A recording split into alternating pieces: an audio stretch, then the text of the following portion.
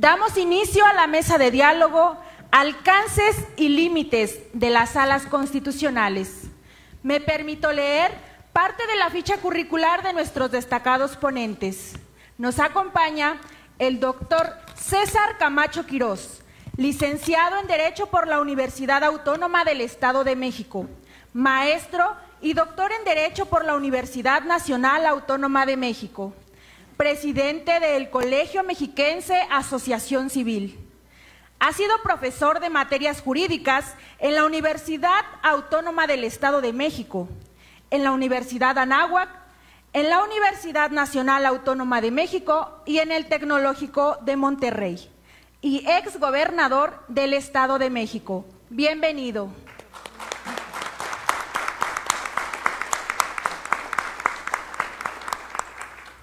Nos acompaña también el magistrado José Luis Maya Mendoza, magistrado del Tribunal Superior de Justicia del Estado de México, de la Primera Sala Civil de Texcoco y autor del libro Análisis y Trascendencia Jurídica. Bienvenido.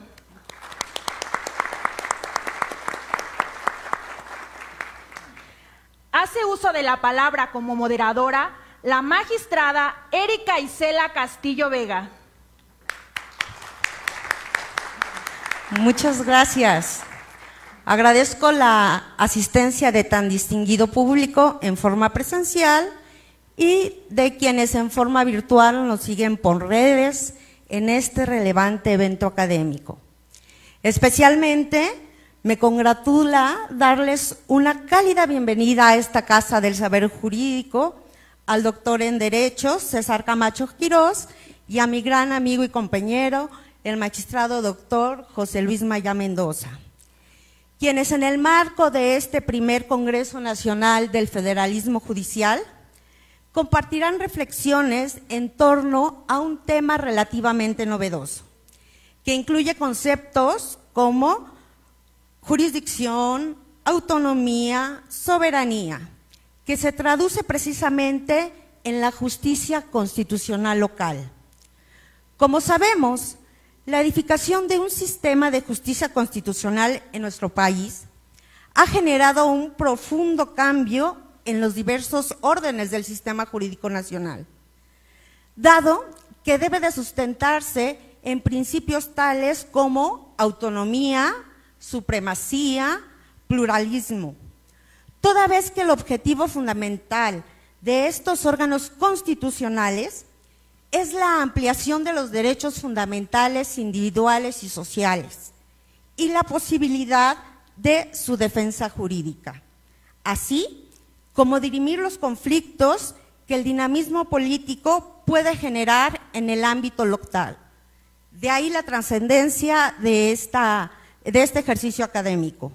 Sin mayor preámbulo, dejo en uso de la voz a nuestro distinguido ponente, don César Camacho Quirós, para que en un plazo de cinco minutos finge posición respecto de alcance y límite de las salas constitucionales. Adelante, doctor. Gracias, estimada Erika Isela. Primero quiero felicitar al Poder Judicial del Estado de México y a su presidente, a mi respetado y querido amigo Ricardo Sodi, no solo por la voluntad de convocar a una reunión de este tamaño académico, sino por su capacidad de convocatoria, que no habría sido posible si no pone a la disposición de este poder, uno de los tres poderes del Estado de México, sus propias relaciones personales y su prestigio, que son tanto o más importantes que su capacidad jurídica, que es por supuesto, admirable y digna de ser reconocida. Me parece que el federalismo, en, tanto decisión fundamental como forma de Estado a la que me referiré enseguida, sigue siendo no solo objeto de estudio, de discusión, sino sobre todo de revisión a efecto de ver no solo lo que ha pasado, de lo que me ocuparé en los siguientes minutos, sino quizás lo más esperanzador de lo que puede pasar si somos capaces de plantear en eh, propuestas inteligentes, razonables, lo que este país necesita a efecto de que cobre plena vigencia una de estas, y aprovecho la expresión de Carl Schmitt, decisiones políticas fundamentales, la decisión de ser un Estado federado. Desde el acta constitutiva de la Federación Mexicana del 31 de enero de 1824 y la constitución de octubre posterior, los mexicanos decidimos constituir una república representativa popular federal.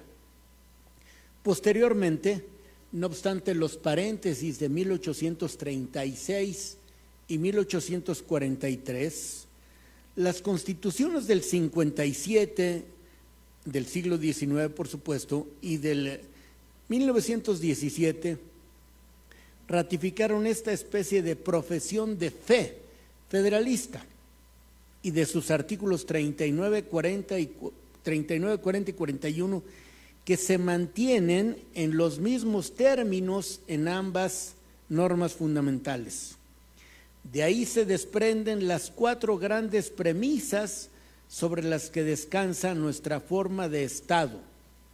La soberanía nacional reside en el pueblo como expresión de la voluntad popular, nos constituimos en una república constituida por estados libres y soberanos en todo lo concerniente a sus regímenes interiores.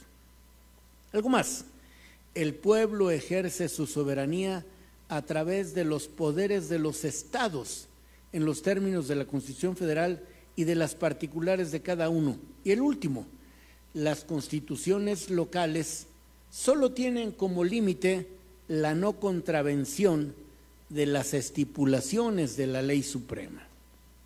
En consecuencia, las autoridades locales, y esto me importa mucho subrayarlo, tienen no solo absoluta constitucionalidad, sino legitimidad en el ejercicio del poder. Este proviene de la misma fuente que la legitimidad del poder federal el voto popular. Y si bien al suscribir el pacto federal los estados cedieron parte de su soberanía a la federación, también es cierto que se reservaron la necesaria, la necesaria soberanía para gobernarse con base en su propia constitución, por lo que ejercen libremente sus propias funciones legislativas, administrativas y jurisdiccionales. Así, a los estados libres y soberanos corresponde determinar todo lo relacionado con su régimen interior según su historia, su cultura, sus convicciones políticas y algo vital, de acuerdo a la realidad de cada uno. Si los estados son libres y soberanos y sus constituciones políticas son jerárquicamente superiores al resto de sus normas, lo lógico es que delineen sistemas jurídicos locales que tengan por objeto tutelar su régimen interior y garantizar no solo el ejercicio, sino la protección, el resarcimiento de sus derechos, de los derechos de las personas, los derechos humanos en el orden estatal. Sobre, sobre el particular, la Corte, la Suprema Corte, determinó en 2005 que somos un Estado federal integrado por distintos órdenes jurídicos que sumados integran el orden jurídico nacional, el constitucional, el federal, el de las entidades federativas y el municipal, en ese orden jerárquico. Lamentablemente, ese criterio ha dado paso a posturas que sostienen que las constituciones locales se ubican en un orden situado por detrás del constitucional y el federal. Al respecto, estimo que las normas fundamentales de las entidades federativas de los estados deben situarse dentro del orden constitucional, no debajo.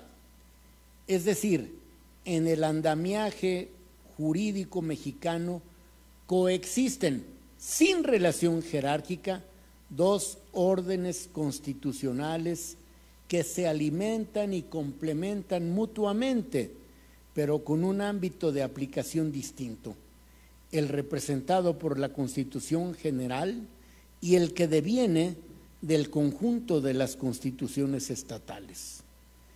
En un Estado federal, y el nuestro lo es típicamente, coexisten diversos centros de poder y ordenamientos jurídicos que están interrelacionados. Es decir, el poder está repartido en diferentes ámbitos territoriales, virtud a un pacto por el que están unidos holísticamente.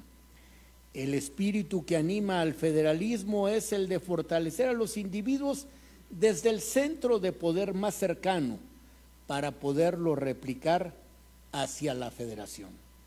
De aquí la importancia de fortalecer nuestro federalismo en todos los espacios donde se expresa subrayadamente el constitucional. En el transcurso de los años, los estados iniciaron un proceso de reivindicación de su soberanía y del ejercicio de sus facultades, y las legislaturas locales, mucho más el poder revisor de la Constitución de algunos estados, comenzaron a transitar de una especie de subdesarrollo legislativo a un franco proceso de recuperación, producto de su propia dinámica política, social y cultural. Desde hace poco más de 20 años, los congresos locales, los congresos locales y los, facultades para, los facultados para cambiar la constitución comenzaron a ejercer, algunos con mayor energía y sentido de oportunidad que otros, su libertad de configuración legislativa y de innovación constitucional a través del ensanchamiento del catálogo de derechos fundamentales y la incorporación de mecanismos de control constitucional. Fue a partir de 2000, con una profunda reforma a la Carta Magna de Veracruz, que el constitucionalismo local comenzó a cobrar relevancia y las entidades federativas dieron pasos significativos hacia la reivindicación de su soberanía en lo tocante a sus regímenes interiores. En concreto, el texto constitucional veracruzano fue pionero en reconocer derechos humanos ausentes o difusos en la Constitución Federal, desarrollar garantías jurisdiccionales para su ejercicio e incorporar mecanismos innovadores de justicia constitucional local. Estimado doctor, su tiempo ha fenecido. bueno, habrá oportunidad Enseguida le, damos el uso de la palabra de nueva gracias. Bien, en la misma dinámica, continuamos escuchando con suma atención los argumentos del magistrado José Luis Maya Mendoza. Adelante, doctor. Sí, gracias, muchas gracias, estimada amiga, compañera de, trabajo de nuestro tribunal. Señor presidente, muchísimas gracias por la invitación.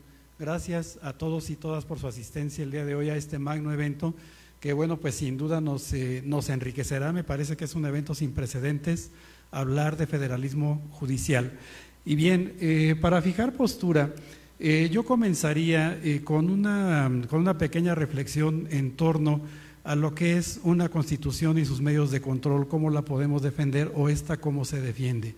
De constitución, bueno, pues podemos encontrar pues tal vez muchísimas definiciones de diversos autores como una forma de vida, como una norma suprema, como la Carta Magna, etcétera.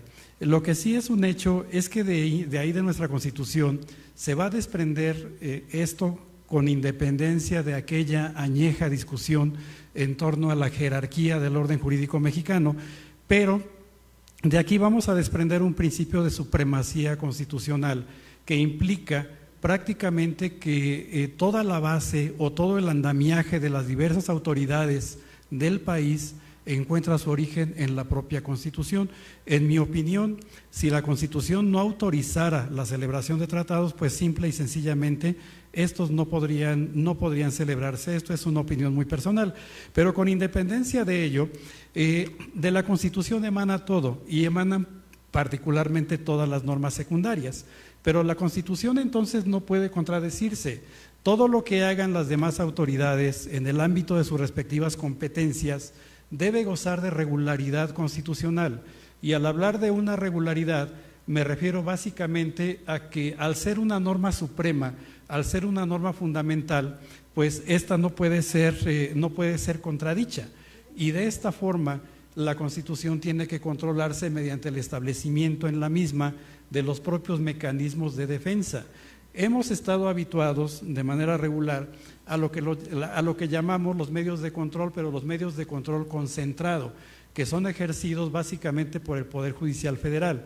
De aquí podemos desprender, eh, pues se me ocurre, en primera instancia, la controversia constitucional que se da a manera de litigio entre entes públicos, eh, la acción de inconstitucionalidad que tiene que ver mucho también con la falta de regularidad constitucional de determinadas normas y entonces aquí encontramos algunos sujetos legitimados para hacer valer esas acciones. Eh, se me ocurre ahorita, por poner un ejemplo y salvo, en una siguiente intervención complementaria, el 33% de una legislatura para poder estar en aptitud de acudir.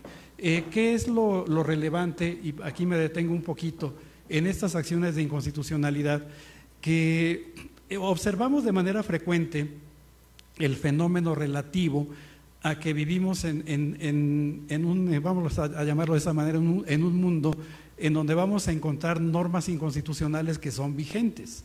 Entonces, la manera de expulsar definitivamente del orden jurídico a estas normas, pues uno, de estos mecanismos es justamente esta acción de inconstitucionalidad. Y a un lado de estos medios de control podemos encontrar también eh, el amparo y podemos encontrar inclusive la propia declaratoria general de inconstitucionalidad que, eh, bueno, pues vamos a, este, vamos a encontrar incrustada también en la ley de amparo. En la reforma, viene la reforma constitucional en 2011, entre otros, al artículo primero de la Constitución. ¿Y qué es lo que ocurre aquí? Eh, que este, este dispositivo, particularmente el artículo primero, ya va a encontrar un complemento con el artículo 133 que desde su entrada en vigencia, desde en, mi opinión, ya autorizaba un control difuso de constitucionalidad.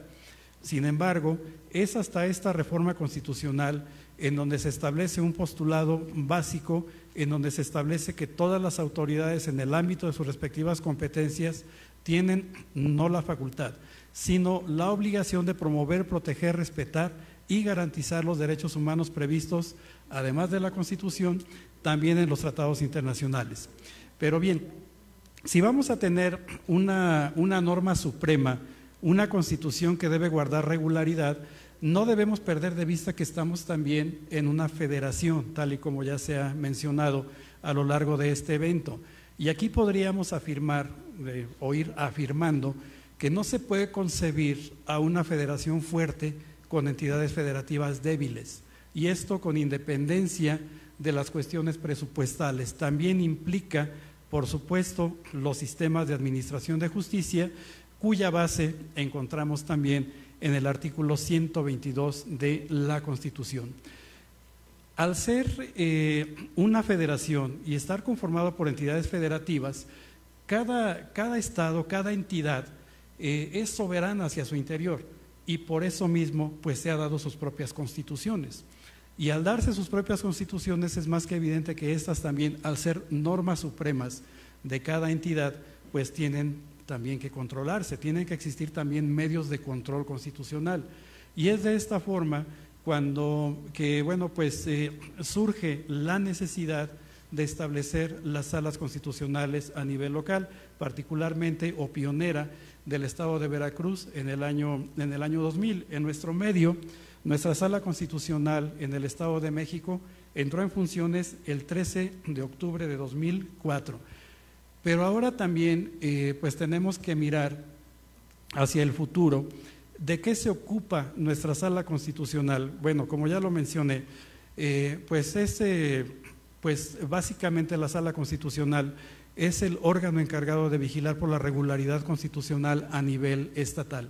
¿Y cómo lo hace? Bueno, pues el artículo 88 bis de nuestra Constitución Política del Estado Libre y Soberano de México le encomienda al Poder Judicial del Estado de México por medio de la Sala Constitucional esta vigilancia y este control a nivel local. Evidentemente, eh, lo, va a, lo va a ejercer mediante determinados instrumentos, no podría quedarse esto en letra muerta. Y de esta manera, los, eh, los sistemas procesales que, que, se encuentran previstos en la Constitución del Estado y en la ley reglamentaria son controversias constitucionales para, bueno, pues cuando hay alguna controversia entre dos ayuntamientos, entre el Ejecutivo y un, y un, ayuntamiento, entre un ayuntamiento y la legislatura, entre la legislatura y el Ejecutivo, etcétera. Es el sistema de controversia que se da también a manera de litigio. Tenemos también prevista nuestra acción de inconstitucionalidad y también un, eh, un, elemento que particularmente me ha llamado la atención, aunque realmente no lo he visto de manera muy recurrente, es el, el, tema relativo al conocimiento de los recursos ordinarios cuando eh, en ejercicio de control constitucional o de control convencional algún juez inaplique alguna, alguna norma.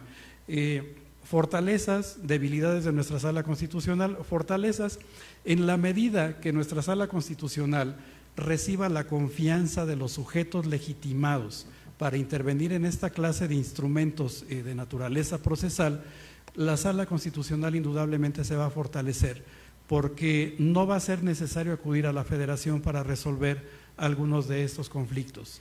Y las debilidades, o básicamente una debilidad que yo puedo advertir, es que las resoluciones que dicta nuestra sala no son terminales porque aún pueden ser eh, sujeto, pueden ser objeto de alguna alguna revisión. Y por poner algún ejemplo, si vemos nuestra ley de amparo, particularmente en el tema de las normas inconstitucionales, pues ahí vamos a encontrar. Perdón, querido magistrado, nada más le dejo que termine esa idea y es tiempo, por gusto. favor. Y termino con esto: el artículo 107, fracción primera de la ley de amparo, entre otras, establece que son, o, se entiende por normas de carácter general que pueden ser eh, materia de alguna inconstitucionalidad las constituciones de los estados y de la Ciudad de México. Por el momento es cuanto. Gracias por su atención. Muchas gracias. Gracias, magistrado. Bien, si retomamos los postulados generales que nos han compartido nuestros invitados, podemos aseverar que la implementación e instauración de estos medios jurisdiccionales de control constitucional local tienen una relevancia innegable. Tan es así que ha permeado cada vez con más fuerza en la conciencia jurídica nacional.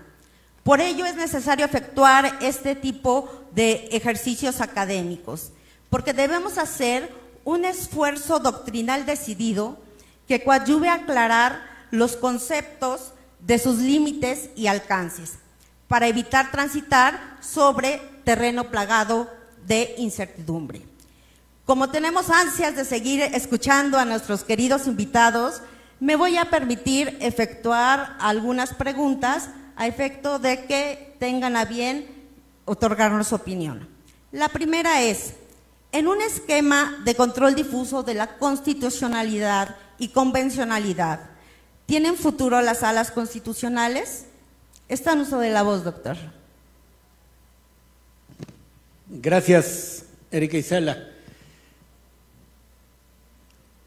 todos los mecanismos disponibles por los ciudadanos o por las autoridades para revisar la constitucionalidad de la actuación de las autoridades serán buenos, porque el principio de legalidad obliga a que todo mundo, empezando por las autoridades, se someta al imperio de la ley.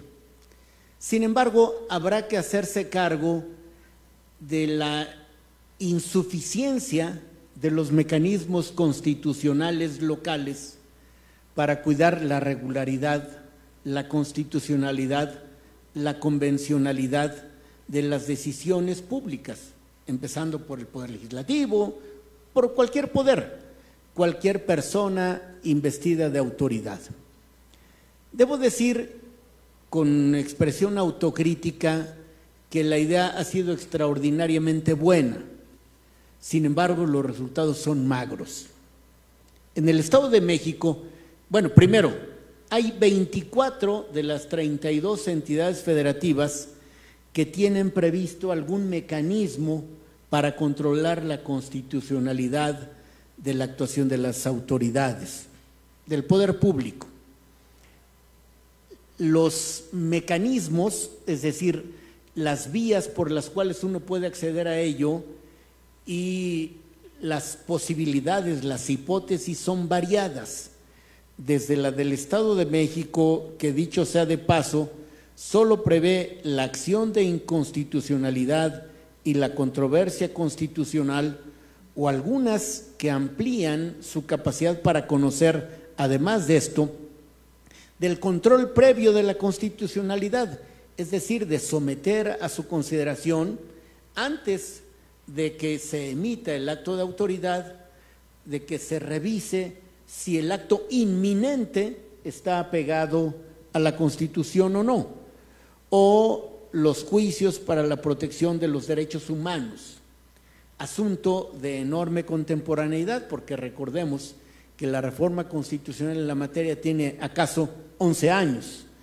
En consecuencia, yo diría, todo lo que tienda a la protección, al respaldo, al ejercicio cabal, a la restauración en el ejercicio de los derechos por parte de las personas, todo será bienvenido.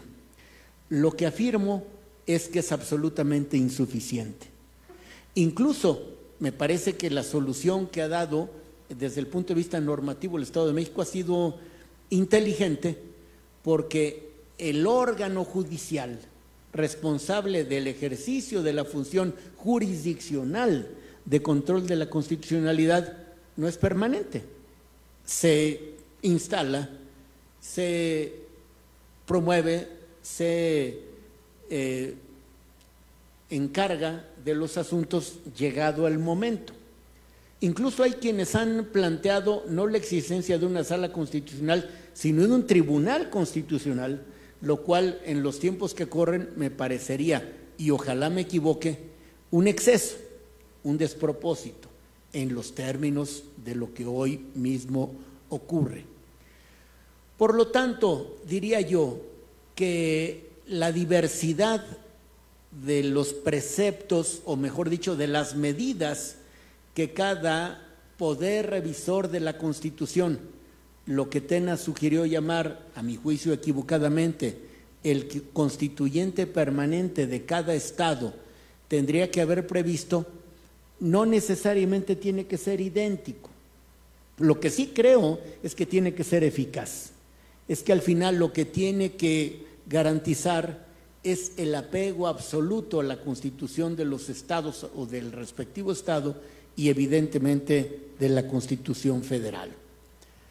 Yo lo que creo es que debe haber, a riesgo de incidir en la sobreregulación federal de la vida local, una serie de mínimos, una serie de hipótesis de aquellos grandes temas o de los asuntos o de las posibilidades de las que las salas constitucionales o los tribunales constitucionales locales puedan estar en aptitud de conocer. Por lo pronto, me parece que lo mínimo indispensable es mantener lo que hoy todos conocemos como las controversias constitucionales, esto es la invasión, la eventual invasión de competencia entre unos órdenes de gobierno y otros, o de autoridades de este nivel, las acciones de inconstitucionalidad, es decir, revisar el apego o desapego de una decisión de carácter general, abstracto, obligatorio a la Constitución o no, los juicios de protección de los derechos de las personas, porque ha cobrado carta de naturalización todo el régimen, todo el sistema protector de los derechos humanos y por supuesto la omisión legislativa. Estoy hablando de lo que a juicio mío sería lo mínimo indispensable. Y dar la suficiente amplitud, la holgura necesaria para que cada Estado lo pueda adaptar a sus circunstancias. Y un último comentario que me parece que es el más importante. El federalismo judicial o la revisión del federalismo judicial pasa por la revisión del federalismo a secas, es decir, de la redistribución competencial, de la redistribución de facultades entre federación, estados, eh, digo municipios, habida cuenta que no son una instancia con posibilidad de incidir en la función jurisdiccional. Tienen, sí, y me parece que con fortuna, la posibilidad de impartir, diríamos que la justicia de conciliación, la amigable composición, no estrictamente la función jurisdiccional que desde mi punto de vista tendría que seguir corriendo a cargo de la Federación de los Estados. Entonces, para terminar, creo que estamos frente a la necesidad imperiosa de repensar el federalismo, que no solo es redistribuir funciones, responsabilidades y hacer que haya mayor eficacia en la impartición de la justicia local. Y mientras se mantenga el criterio esgrimido por la Corte en 2010, lo voy a decir coloquialmente, ustedes dispongan de lo que quieran, protejan, preserven, restituyan derechos humanos, aquellos previstos en adición a la, federal por las constituciones de los estados. Más temprano que tarde, aquí nos vemos. Mientras esto se mantenga, estará en entredicho el verdadero federalismo judicial. Muchas gracias, doctor. Bien. Querido magistrado, nos gustaría conocer su opinión respecto de en qué aspectos las salas constitucionales fortalecen el federalismo judicial. Eh, bien, yo creo que las, eh, las salas constitucionales, bueno, pues eh, abonan y, abonan, abonan en mucho porque, como lo mencioné hace un rato en la primera intervención, en la medida que las entidades federativas tengan también fortaleza, pues se fortalece a la federación misma. creo que estamos en un franco, en una franca etapa de desarrollo, de desarrollo jurisdiccional en el entendido que vamos a tener o tenemos ya una coexistencia entre medios de control concentrado a nivel federal, tenemos un medio de control concentrado a nivel local que es ejercido, como ya lo mencioné, por nuestra sala constitucional, pero también eh, a un lado de esto vamos a tener ese control difuso, el control difuso que es el que se difunde entre todas las autoridades.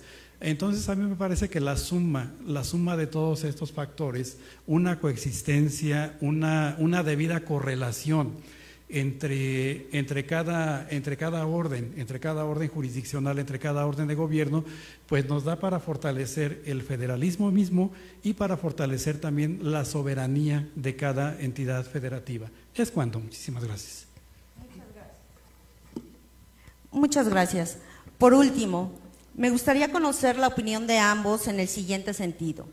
¿Debe de haber un diálogo interjudicial entre la Suprema Corte de Justicia de la Nación y las salas constitucionales? Si así lo consideran, ¿podrían explicar los términos en que éstas tendrían que realizarse? Está en uso de la voz. Déjeme, Erika, eh, hacer algún comentario. A partir de 2000, que puede considerarse una especie de hito en algo que yo llamo la redistribución del poder político, que luego se tradujo en reformas constitucionales y mucho más, en donde pasamos de un verticalismo, y, me hago cargo de lo que afirmo, atropellador, de un verticalismo excluyente, inicia un proceso de horizontalización en el ejercicio del poder, que sigue buscando su equilibrio hoy mismo. Es decir, de pasar del ejercicio libérrimo, atropellador de la autoridad, a la búsqueda de un equilibrio razonable, en donde, según mis convicciones, quien debe ganar es el ciudadano en el ámbito del Poder Judicial, el justiciable.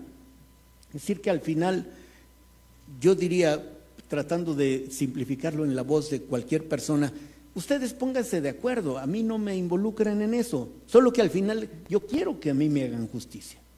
Y me parece que cualquier ciudadano estaría en lo correcto. Es más, no solo cualquier ciudadano, cualquier autoridad, especialmente las más débiles en todos los sentidos, institucional, organizativo, legal, constitucional, las autoridades locales, los ayuntamientos, los delegados, las comunidades. Creo que ese es el reto, es un debate que nos debemos, el debate sobre el federalismo del siglo XXI. Quito unos minutos de su atención para decirles que desde mi punto de vista el federalismo mexicano pasa por el municipalismo. Lo digo porque en los estados de corte unitario centralista puede haber fortalecimiento de los municipios sin fortalecimiento de una autoridad intermedia, no necesariamente, pero en México sí. En consecuencia, yo lo que creo es en el equilibrio, en la razonable distribución de competencias en donde nadie gane sino donde nos pongamos de acuerdo para que haya racionalidad, para que haya efectividad, para que al final, insisto, lo que impere no sea el atropello, la imposición, la desarticulación, la fusión, sino la posibilidad de una inteligente y eficaz articulación entre ámbitos de gobierno donde quien gane, insisto, sea el ciudadano y tratándose del sector público, los gobiernos locales. Y para ello me parece indispensable rediseñar, poner al día y respetando la soberanía de los estados expresada a través de su poder revisor de la constitución local, establecer mínimos indispensables, porque no tenemos por qué copiar un modelo oaxaqueño o chiapaneco, con alta población indígena y un, innumerable, eh, una, innumerable cauda de municipios tratándose de Oaxaca, que Baja California que tiene cinco. Entonces creo que tiene que haber, decía yo, mínimos indispensables para establecer las reglas de la competencia, pero siempre cuidando que se evite el atropello que se evite la exclusión, porque convencido como estoy del federalismo y del municipalismo, donde yace la fuerza ciudadana es en lo local. Claro, la fuerza ciudadana resultaría insuficiente o ineficaz si no hay un entramado jurídico constitucional que la proteja. Termino. Nunca serán suficientes los mecanismos de control constitucional, que vengan todos los que sean posibles, los que existen y más, en el afán de ayudar al equilibrio, que es lo que siempre se busca en el ejercicio del poder.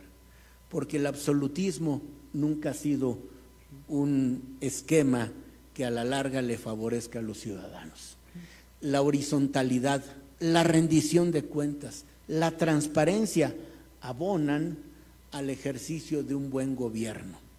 Y al final, el rasero con el que nos habrán de juzgar no es exactamente el, rigor jurídico, sino el ejercicio inteligente, razonable y siempre beneficioso para los ciudadanos que debamos hacer del poder público. Y la garantía de que eso ocurra es la Constitución y los mecanismos constitucionales para evitar los excesos. Lo único en donde puede haber excesos es en el poder de los ciudadanos. Muchas gracias. Magistrado, está en uso de la voz. Sí, muchas gracias. Eh, yo me, cuestionaría, en, primer lugar, de qué manera se puede dar un diálogo entre la Suprema Corte respecto de otros tribunales o de otras autoridades, si no es eh, en virtud de las resoluciones que emite constantemente eh, la Suprema Corte actuando en pleno, actuando en salas, y que se nos traduce por medio de sentencias, de sentencias relevantes, se nos traduce por medio de, la jurisprudencia, por decirlo de alguna manera. Eh, de esta manera, o viéndolo, viéndolo así, a mí me parecería que es complicado o sería complicado hablar francamente de un diálogo, porque un diálogo implicaría que tal vez la Sala Constitucional del Estado de México pudiera en algún momento dado emitir alguna resolución y que mediante ese diálogo la, Suprema Corte, actuando en pleno, actuando en salas, pues determinar a respetar la determinación que ha tomado la sala por medio de pues, eh, la sentencia en sí misma. Aquí aprovecho para hacer un, eh, breve comentario. Eh, recientemente se, se, publicaron algunas reformas a la ley de amparo en donde pues hay un impacto relevante a algunas instituciones jurídicas entre otras la propia jurisprudencia. Aquí encontramos ya un, eh, bueno, un, rediseño en la forma de elaborar jurisprudencia, esto es desde el punto de vista estructural. Ahora lo que tenemos en la ley de amparo es una sale o, aparece por primera vez lo que se llama la jurisprudencia por precedente, aparece en la ley de amparo y que implica que las decisiones que tome la Suprema Corte constituyen jurisprudencia, actuando en pleno o actuando en salas, y eso sí, una mayoría calificada de ocho votos. Pero si nos vamos al, ámbito de las acciones de inconstitucionalidad y de las controversias constitucionales previstas en el artículo 105, fracciones 1 y 2 de la Constitución Federal, pues encontramos que también las razones que se expresan en, eh, en, estas, eh, en estas resoluciones constituyen jurisprudencia. ¿Y por qué comento esto? Porque justamente de esta manera se va dando el diálogo, pero el diálogo eh, es, eh, es un diálogo jurisdiccional en donde la Suprema Corte nos va poniendo los parámetros a los demás órganos jurisdiccionales y es ahí donde los tenemos, vamos, tenemos que acatarlo, dado el carácter obligatorio que tienen. Y por ello refuerzo aún más la idea de que no sería posible tanto hablar de un diálogo, Creo que lo que se tiene que hacer en este caso es un rediseño de competencias para que los distintos medios de control constitucional, el concentrado a nivel federal, el control difuso y los controles concentrados de cada, de cada entidad eh, federativa eh, puedan coexistir de una manera armónica y no puedan ser contradichos. Hace un momento mencioné el tema de, eh, perdón, en donde es posible que el ciudadano vía amparo pueda eh, acudir y cuestionar la constitucionalidad de la propia constitución política del Estado de México. Entonces, ¿qué sería lo deseable? Lo deseable sería que cada entidad que cuente con un medio de control, las resoluciones que se emitan por el órgano competente, en este caso las salas constitucionales, que sean terminales y que sean vinculativas. Creo que ese rediseño de competencias nos daría eh, eh, un mayor margen que solamente un diálogo. Es cuanto, muchísimas gracias. Muchas gracias. Adelante, por favor, doctor, con gusto. Yo quiero agregar un comentario breve.